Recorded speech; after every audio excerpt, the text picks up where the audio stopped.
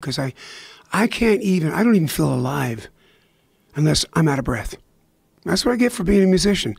I lose a pound a night on stage sweating with Aerosmith, right? I'm up there with standing next to fucking Joe Perry, really. The last of the real rock stars.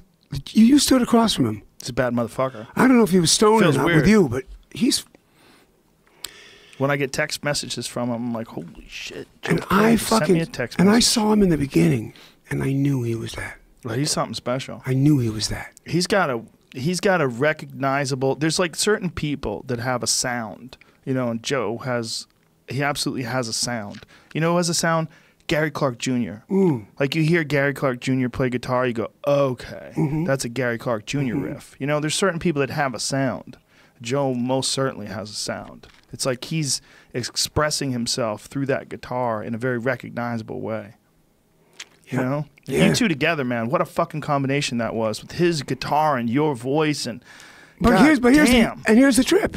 You know, in the beginning, you know, the first album, people have said, "Who's singing on the second album?" Because on the second album, I kind of sang like that, and, you know, kind of like that Pee Wee Herman, mm, chocolatey. I kind of fucking, I kind of put that I, because I want to sound black. What the fuck? I'm not stupid. I get it. I wanted to put some fucking Soul. soul in my voice. I knew I had it. So And you tried to force it out like no. I, I, no, no. What I learned was, you know, like from uh, uh, Nat King Cole. This is the kind of music I listened to when I was a kid. When I met Natalie, I walked up behind her and I went, chemo, chemo, stare, stare. My high, my ho, my rump stick, a pumpernickel, soup, bang, nip, cat, parliament, cameo. I love you. She went, no one has sung that ever to me except my daddy. You know, said her dad passed, obviously, way before. But that's those are the records I listened to. That was Nat singing his Mm, right. best shit. And um, So you I wanted wanted to to sound. I just, well, here's what I wanted to sound. I wanted to sound more like Joe Perry was playing Ah. and singing really sweet and nice. Listen to Dream On. It's sweet and nice. I kind of I kind of went there when we wrote a song on a waterbed. Joe Perry and I were sitting around smoking a big fatty, and um, Mark Lehman was there. He was our road manager, and we and Joe goes.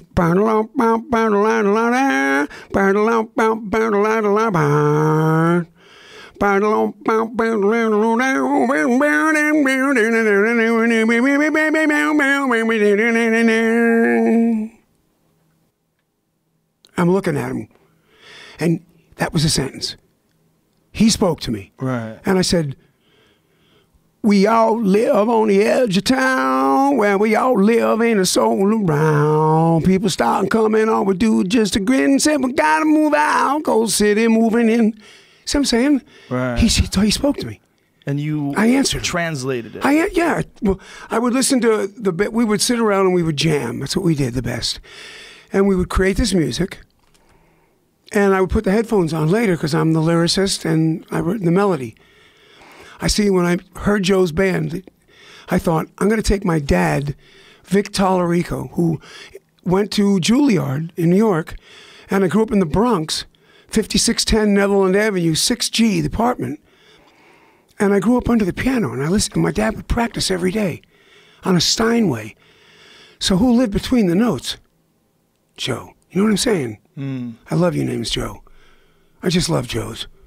Fucking love Joe Perry. Fucking love. You know, he's my bro. You go, hey Joe, what the fuck, man? It's always been that. So, but anyway, so I took my melody, and you know what I hear when I listen to him playing? Whoa, shit. So when you, when you guys did me. your second album and you did that sort of affectation, is that how you would call it, of Mm. your voice? Did you after you heard it and you listened to like people talking about it, did you decide to change it for the next album? Mm. Wow, that's decide to- cool. I did just go away for a minute, didn't I? yeah. I love it when I do that.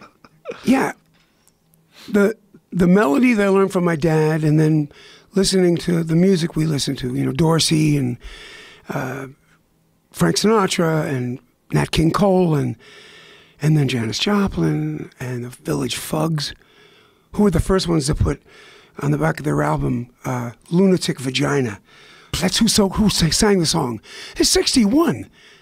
The Mothers of Invention. Wow. These fucking bands, and I went, what?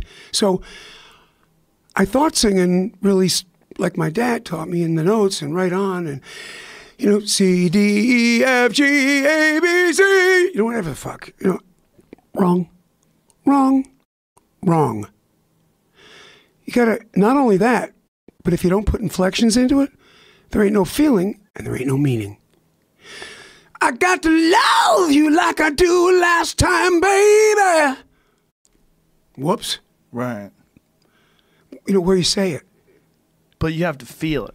It Well, can't you- be something you're trying to feel. It's got to be something you actually feel. Does that make yeah, sense? Yeah, but I, I think you know Joe. Hats off to him, man. Um, the way he played his guitar in practice at night, he'd fucking nod out. He'd be sitting in his chair, and the fucking chair, the couch caught on fire. I walked in with a pot of water, and he's laying there, room full of smoke. I went, Joe, what the fuck, man? Yeah, and he's playing this riff, and we turned it into a song. And it, this kind of stuff happens so much, and he did it away too. I mean, fucking A, obviously, you know. Tom Hamilton. Sweet emotion. That's how a band comes together, you know? And I can't tell you any other way than that magic. And every inch of the way, the reason it doesn't feel like I'm 70 and I don't feel the time and it feels like yesterday, we just started, is because every time I'm on stage, I'm singing those same fucking songs again same way, same feeling, same looking, same people, different people.